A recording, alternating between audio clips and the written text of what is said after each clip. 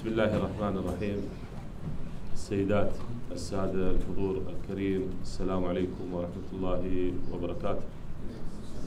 سعدتم صباحا في البدء أود أن أرحب بالضيوف الأعزاء السيدة نائبة رئيس مجلس الشيوخ الإيطالي والسيد الوزير والسادة السفراء السفير الإيطالي وسفير الاتحاد الأوروبي.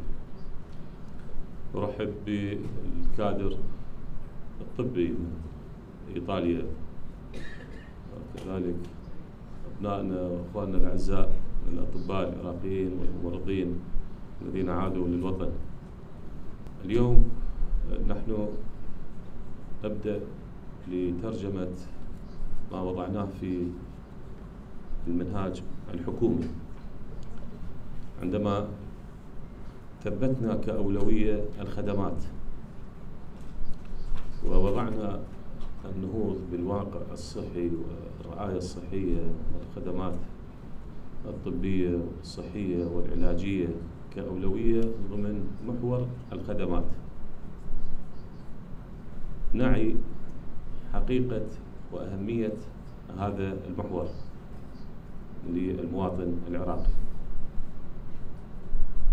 وأهمية أن نلتفت لهذا الجانب الأساسي والحيوي الذي لا يمكن أن نتأخر في تقديم الخدمات. ممكن نتأخر في خدمات أخرى لكن على مستوى الصحة والعلاج لا يمكن التأخير. والمواطن العراقي أبناء شعبنا يستحقون أفضل الخدمة الصحية والطبية والرعاية. لذلك بدأنا بعدة مسارات. بدءا من مسار تأهيل المستشفيات والمراكز الصحية المهمة في بغداد والمحافظات. مشاريع تأهيل سريعة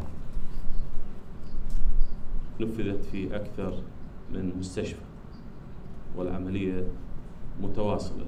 بدأت بمستشفى الكاظمية التعليمي ولن تنتهي إلا ونشمل جميع ما نستطيع الوصول إليه من مستشفيات ومراكز صحية.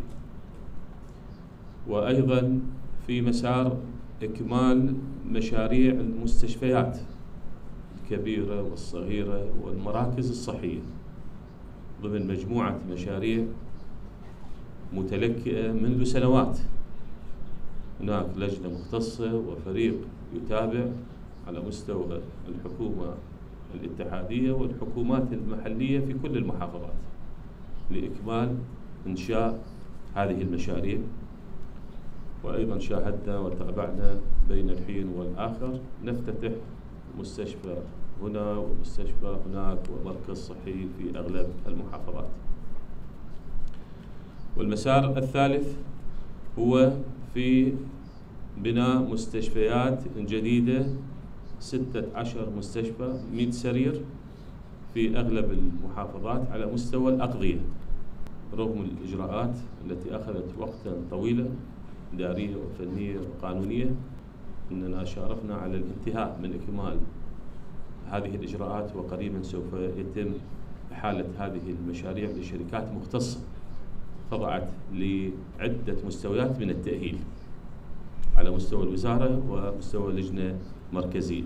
المسار الآخر بدأنا بتخصيص أموال إضافية منفصلة عن تخصيصات مديريات الصحة إلى المراكز التخصصية للسرطان والكلى والقلب وغيرها للنهوض بواقع الخدمات في هذه المراكز التي تعالج أو تستوعب المرضى في هذا النوع من الأمراض الصعبة والخطيرة حتى نخفف عن كاهل المواطن إضافة إلى الجهد الاستثنائي الذي تبذله وزارة الصحة على مستوى التجهيزات والمستلزمات والأدوية والتي شهدت طفرة كبيرة قياسا للسنوات السابقة على مستوى التخصيصات المالية التي وضعت في الموازنة.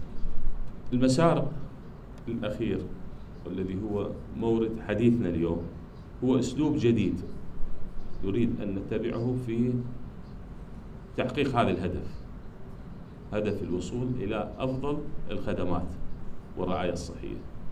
هو أسلوب الإدارة والتشغيل المشترك مع شركات متخصصة في الإدارة وفي توفير الملاكات الطبية والإدارية المتميزة بتجاربها فكان الذهاب أيضا بإجراءات أخذت وقت بحدود عام من الإعلان لكل الشركات المتخصصة المحلية والإقليمية والعالمية.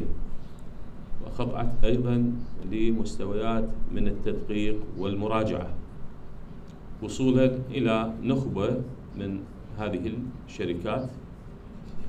اليوم نحن مع مجموعة متميزة على مستوى العالم مجموعة ساندونات السيد كمال غريبي حقيقة أثني على صبره وإصراره على التواصل ومواجهة كل التحديات التي حقيقة نعترف بها. تواجه كل المستثمرين والشركات الأجنبية بحكم طبيعة القوانين والتعليمات والضوابط المحلية.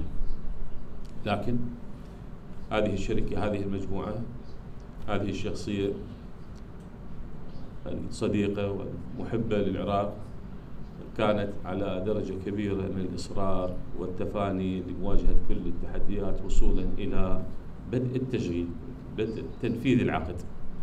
مثل ما شاهدنا اليوم المؤشرات إيجابية ولله الحمد في أننا نحول هذا المستشفى مستشفى النجف الأشرف في هذه المحافظة المقدسة لعموم المسلمين وللعراقيين بالخصوص إلى مركز استقطاب.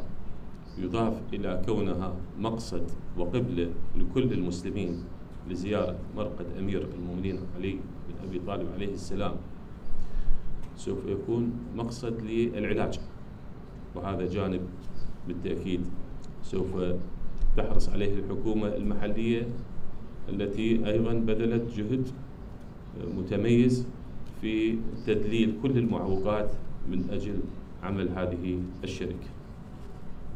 هذا الأسلوب سوف يطبق في ستة محافظات في النجف وميسان والبصرة وذيقار وكربلاء وبابل.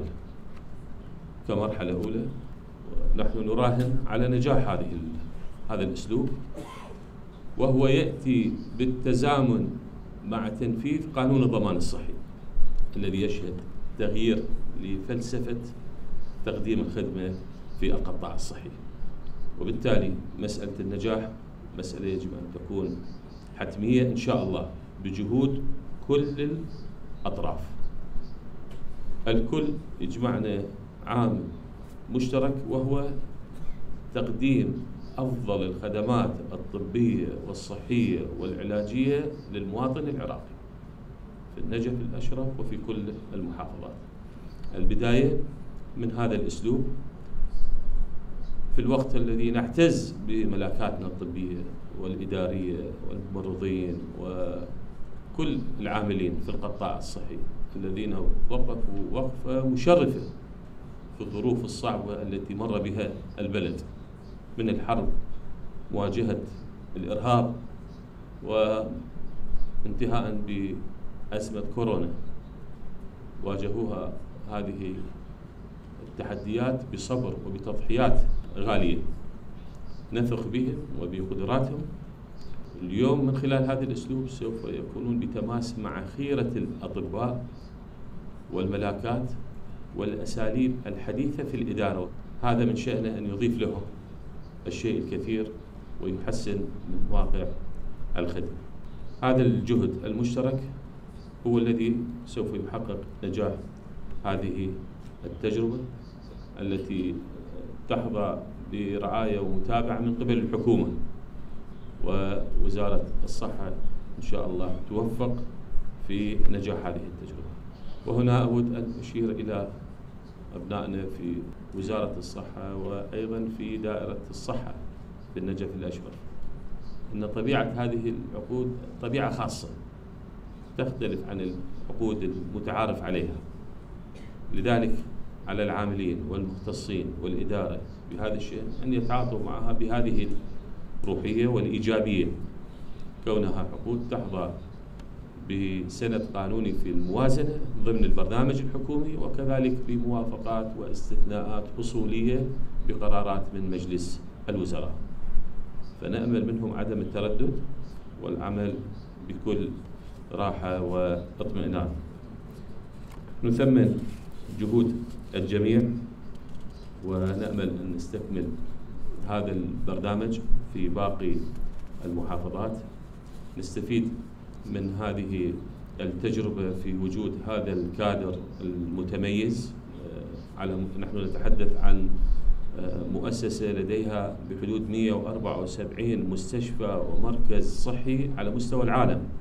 نحن أمام تجربة ثرية وكبيرة في مجال القطاع الصحي. بالتأكيد إدارتنا بأمس الحاجة للوقوف على هذه التجربة والاستفادة منها وتطبيقها في كل المستشفيات. أيضا وجود الأطباء الكفاءات العراقية التي وجدت في هذا المسار طريق للعودة إلى الوطن وتقديم الخدمة هذا مكسب كبير لنا. وأحيي فيهم هذا الحرص والغيرة المعهودة عن العراقي أينما يكون. تجاه بلده وشعبه. اسمع بالفيديو هذه الكفاءات بهذه التخصصات وهذه الخبرة لديهم فرص للعمل في كثير من المواقع والمستشفيات في مختلف دول العالم. توفر لهم مزايا أفضل مادية ووسائل أخرى لكنهم فضلوا التواجد هنا بين أبناء شعبهم لتقديم الخدمة. هذا الأسلوب سوف يساهم في أن نوفر ما يحتاج المواطن الذي يضطر إلى السفر خارج العراق. وتعلمون جيدا أن السمة البارزة الآن في المجتمع العراقي للحصول على العلاج هو السفر إلى دول الجوار والمنطقة والعالم حسب مستويات المعيشية والقدرة المادية. بوجود خيرة الأطباء بوجود هذا النظام هذه الخدمات بالتأكيد لن يحتاج المواطن العراقي للسفر خارج العراق. وما لهذا الجانب من تأثيرات اقتصادية على خروج العملة الصعبة من العراق فضلا عن المشقة والمعاناة المريض وعائلته في السفر خارج البلد. أكرر شكري الجزيل لكل من ساهم في وصول هذا العقد إلى موضع التطبيق وهو بداية. نريد ما شاهدناه اليوم أن يستمر وأن يلمس المواطن فارق واضح في تقديم الخدمة والرعاية الصحية. شكرا جزيلا والسلام عليكم ورحمة الله وبركاته.